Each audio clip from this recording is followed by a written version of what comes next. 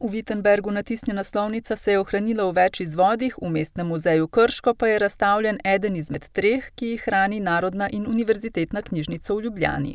Imamo prvič priložnost, da izvirnik Bohoričeve slovnice vidimo tudi v Krškem. Do zdaj ta knjiga še ni bila nikoli po naših podatkih razstavljena v, v, v tem našem mestu. Razstavo so pripravili v sodelovanju z Narodno in univerzitetno knjižnico, umestili pa so jo v razstavišče Jarnovičeve hiše. Samo razstavišče je pravzaprav v primerjavi z ostalimi muzejskimi razstavami, ki so v tem prostoru danes, razmeroma prazno. Mi smo ga napolnili samo z besedilom, ki ga je pripravil predstojnik Inštituta za slovenski jezik Frana Ramovša na Znanstvenoraziskovalnem centru Slovenske akademije znanosti in umetnosti. Njegovo besedilo smo izdali tudi v priložnostni zloženki. Kot je za gradivo razstave še zapisal doktor Kozma Ahačič, Bohoričeva slovnica postavlja slovenski jezik na častno deveto mesto med evropskimi ljudskimi jeziki, ki so dobili svojo slovnico v sodobnem pomenu besede. Pred slovenskim jezikom sta jo v petnajstem stoletju dobila italijanski in španski jezik, v šestnajstem stoletju pa potem še francoski, češki, portugalski, valižanski, poljski in pa nemški jezik. Zimske urice, kot Bohoričevo slovnico največkrat ljudsko imenujemo, so izšle tisoč petsto štiriinosemdesetega leta, sočasno z izdajo slovenskega izvoda Biblije. Z doktor Kozmo Ahačičem smo se dogovorili oziroma smo ga zaprosili, da nam predlaga, kako naj knjigo odpremo, in je izbral stran, kjer je kar nekaj slovenskih besed zapisanih in potem njihove sklanjatve.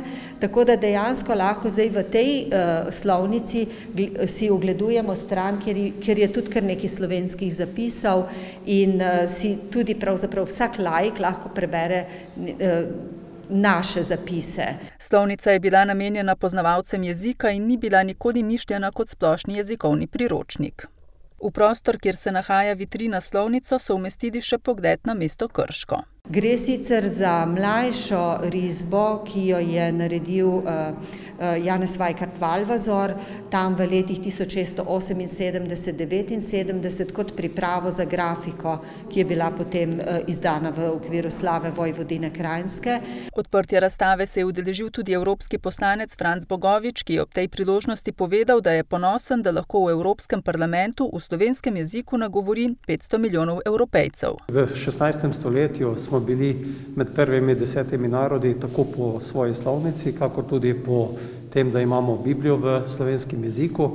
In takrat smo se pravzaprav zapisali tudi na ta evropski zemljevid. Razstava originalnega Bohoričevega dela predstavlja sklepno dejanje Bohoričevega leta. Z umestitvijo izvirnika v razstavišče Mestnega muzeja Krško pa smo Krčani, Brestanjčani, Posavci dobili priložnost, da vpogledamo resnično v originalno delo Bohoriča, v slovnico, ki nas je zaznamovala in tlakovala pot slovenskemu jeziku, da ga danes govorimo in ga s pridom uporabljamo in smo nanj ponosni. Razstava je na ogled do enaindvajsetega marca, zaradi gostovanja tega pomembnega knjižnega dela so v muzeju prilagodili odpiralni čas. Tako da je muzej odprt za obiskovalce od torka do sobote med deseto in šestnajsto uro in tudi ob nedeljah med dvanajsto in šestnajsto uro. S tem želijo ogled razstave omogočiti vsem zainteresiranim,